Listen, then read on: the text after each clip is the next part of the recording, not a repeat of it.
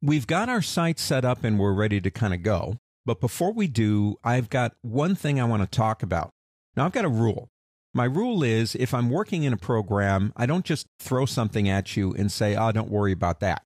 What I want to do is stop before we get into images and talk about one of the most, in my opinion, important aspects of web design, and that's page structure.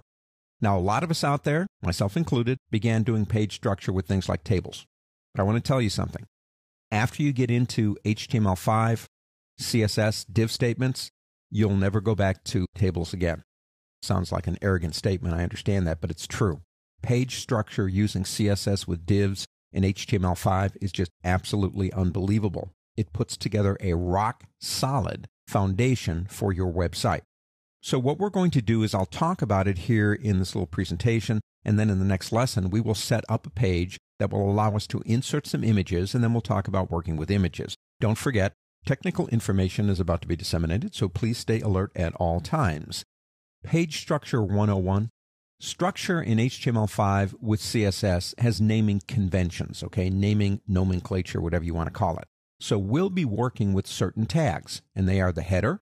You have one called heading, that's H1 to H6, paragraph, navigation, an aside, article, section, footer, and figure. Now, these names were created for these tags to help define that particular area you're working in. But to be honest with you, you could take a footer and make it a header, and it would still be called footer. The idea to give them these names is to help interpret them when you're using them, and I'm not suggesting you use a footer as a header, but all it really is is a name designation to get you started on formatting. Now, when we start putting this together, okay, we put it all together, basically it's going to look like this in the next lesson. I'll create a div for a header. I'll do one for a, another new section, another one for an article, another one for an article, another one for an article, a footer. And it's going to look just like that. But in reality, when we put it together, it looks something more like this, or it will.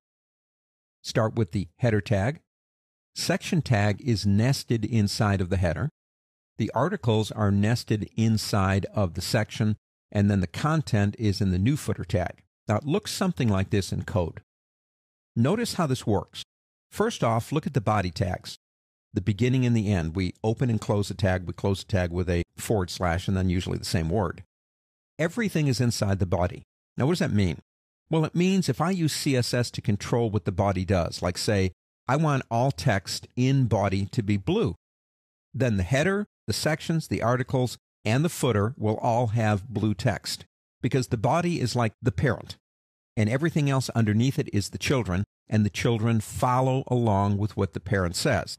I don't know if that's really true because it never happened to me.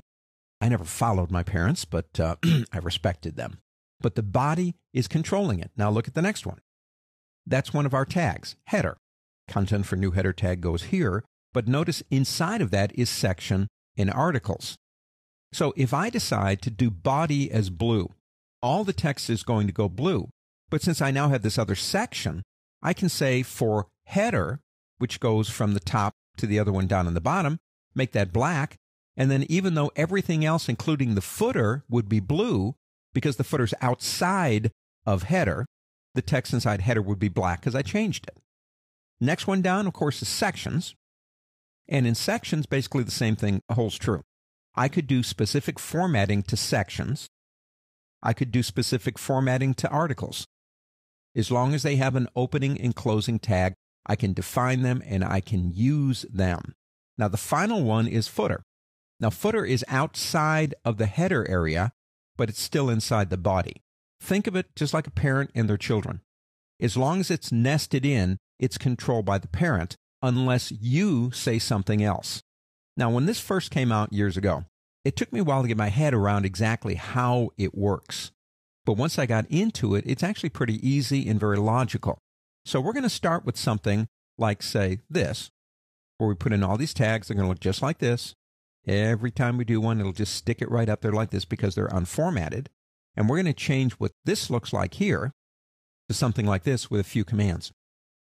What we're talking about is rock solid page structure using HTML5, using CSS and div tags. And even though this is a chapter on images, this is where we're going to start. We're going to start building our structure. Now let's get going.